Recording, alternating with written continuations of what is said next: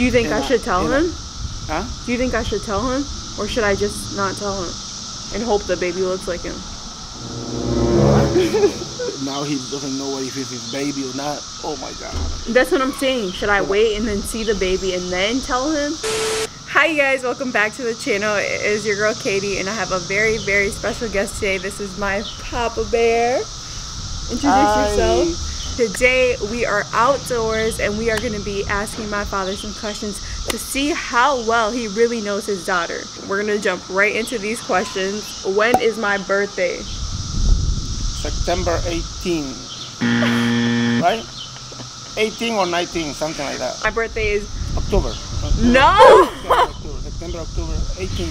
September 19th. There we go. See, I, I said. I mean, But you said 18 first. You're well, wrong. one number is not a big deal. Really, nigga? Yeah, well, 18, 19. That's what I said, but I said right. Next question.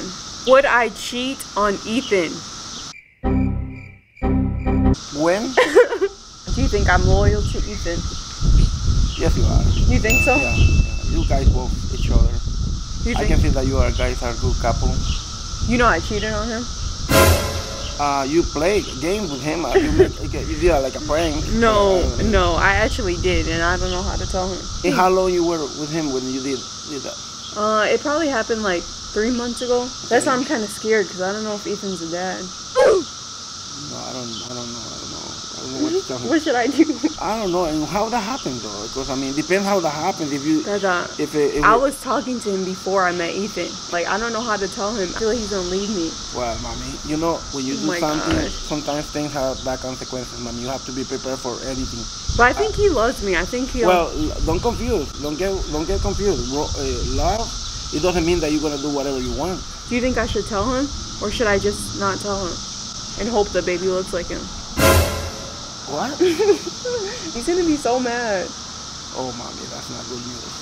That's not a good news. I don't know what to So do you now. think I should tell him or not? So you, so in another word, you he doesn't know. Mhm. He doesn't know. Well- and I don't talk to the dude anymore. It's not like it's gonna No, happen you better again. stay away from that guy already. I know. I mean, you, I hope this is Ethan's baby though, because or else I'm screwed.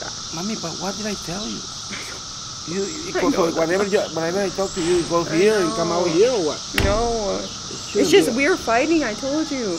No, uh, no excuses. You guys wa- find too many excuses, man. Life is not about excuses. You gotta live what you got. See, this is why I was scared to tell you because I knew you were gonna be mad too. I- No, not mad, mommy. It's because I'm telling you reality. Respect is the most important thing, mommy. Respect. If you don't, if you don't have respect, you can't expect anything. So should I tell him or not? That's all I need you to tell me.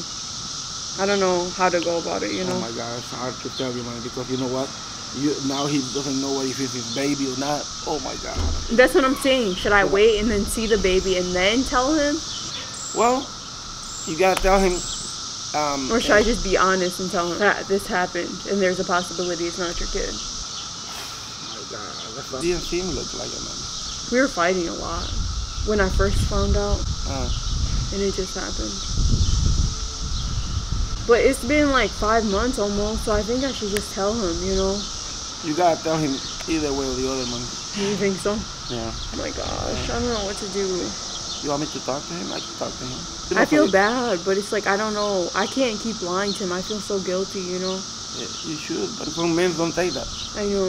And he's one of them. I know. not, he doesn't, I know he he's doesn't play no games. mad. He's gonna I, get I don't so play mad. games too either. Just tell him, I mean, just tell him that you make a mistake. That's why I really wanted to come here so I can talk to you about it. Why the fuck you lying?